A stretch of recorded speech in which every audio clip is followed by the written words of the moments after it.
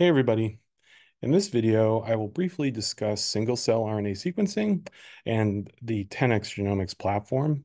This is basically going to be an introduction to the work that you're going to be doing on the first day of the single-cell sequencing uh, portion of the short read workshop. Now, single-cell RNA sequencing is a method for determining the RNA expression profile of individual cells in a given cell population. Uh, this can be very useful for answering a number of biological questions.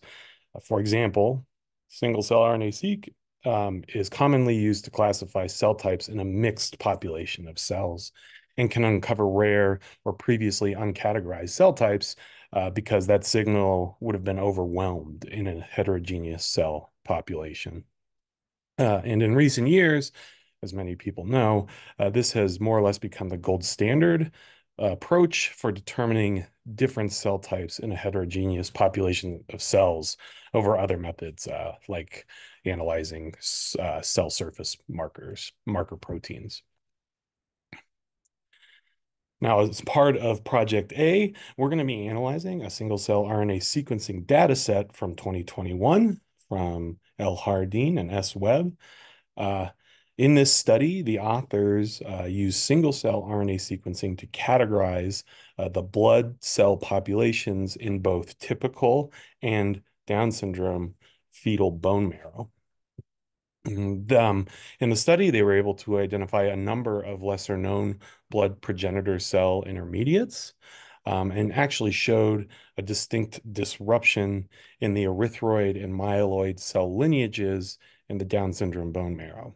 now, this uh, these findings are consistent with the higher frequency of blood blood malignancies uh, that we see in children with Down syndrome. Now, if you're going to perform a single cell RNA sequencing experiment, uh, you're probably going to be using 10x, the 10x Genomics platform, uh, which has become basically the most well-known biotech company in the single-cell RNA sequencing field. They use a microfluidics droplet method, uh, which essentially isolates individual cells um, with a barcoded bead in a droplet. Um, in the end, what this gives you is, R is an RNA molecule that has a specific barcode um, and a unique molecular identifier or a UMI um, these uh, RNA molecules can then be assigned to individual cells uh, during the analysis portion. Now, uh, 10x Genomics offers a set of analysis pipelines called Cell Ranger. Um, and we will be using uh, the Cell Ranger count uh, software during day seven of the workshop, which essentially inputs a raw FASTQ file and performs alignment, filtering, barcode counting, and UMI counting.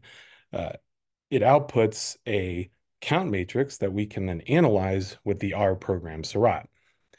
Uh, also, in case you're interested, Cell Ranger will output a Loupe file, which can be viewed on um, a Loupe browser, which is a desktop application that you can download from Cell Ranger or from uh, 10x Genomics. Uh, now, it should be noted that generally, uh, raw single-cell RNA sequencing data is very large, and it can take a long time for Cell Ranger count to actually run. Uh, because of our limited time and AWS resources, uh, you'll be running Cell Ranger count on a modified data set so that you can just get an idea of how this package works. Uh, then we will have you run downstream analysis on the real matrices and Seurat objects from the paper. Just to give you an idea of what the R Ranger, of what the uh, Cell Ranger uh, SBatch script is going to look like. Um, the one you will be editing looks pretty similar to this one here. Um, however, you're going to need to modify some of these parameters before you actually run it. Once Cell Ranger count has run, you'll actually see a new output, output directory labeled by the ID argument in the SBatch script, which I have two output directories uh, shown here for two different uh, Down syndrome bone marrow samples. You will also see, um, and I should note that these output directories now have all of the output files from Cell Ranger Count. Uh, if you were to CD into one of these, you would see a number of these files as well as this outs subdirectory, um, which is what actually contains um, our .h5 filtered count matrix, which we could now use, um, uh, which we could now analyze using the R software Seurat.